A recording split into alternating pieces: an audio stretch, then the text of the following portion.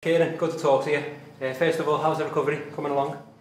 Yeah, it's going well. Um, yeah, just coming towards the end of my rehabilitation now, so um, literally it's my last run today, and then yeah, just looking uh, to get fit for pre-season. Good stuff. How did, how did you feel last season, went, both from a personal point of view and a team point of view prior to the injury? Yeah, frustrations for me, um, obviously due to injury. I was out for 10 weeks the start of the season with my ankle, um, sorry, that was my knee, uh, done my MCL, and then another 10 weeks now with, um, with my ankle. So yeah, frustrating season for me. Um, but yeah, uh, thankfully I'm glad to be back and um, yeah, kick on for next season. Good stuff, yeah. So looking to the season ahead, um, what do you make of the changes with obviously Nigel Adkins coming into to work as technical director with Ian Dawes as the manager and, and Neil Downs returning as well as assistant manager? Yeah, it's great. You know, um, I mean, I've I obviously know Dorsey um, as the assistant for been working for him for three years now.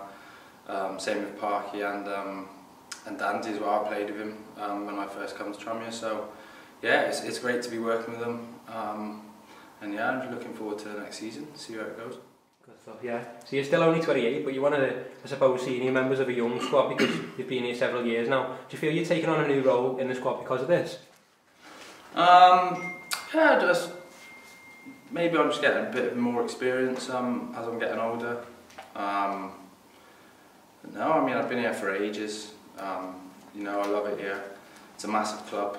Um, it's got big ambitions in terms of uh, facilities, fan base, and you know, stadium. It's a, it's a club that shouldn't be in this in this league. Personally, um, I think we should be in the higher league.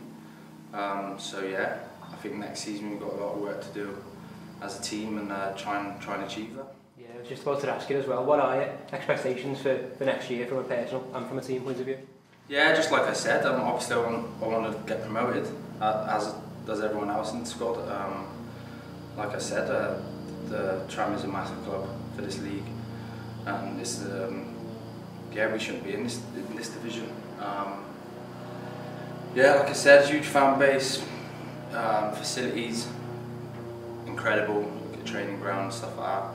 So yeah, we, we need to be we need to kick on next season. Um, I think uh, if you look at our home form, the last two years been really good, um, whereas our away form hasn't been great. So obviously it's the consistency uh, that we need to keep on top of to, um, to get results next season. I think we can, you know, keep winning our home our home games and then getting um, the results within the away games, I think we'll definitely be fighting for promotion, 100%. So yeah. that's, that's what we've got to do.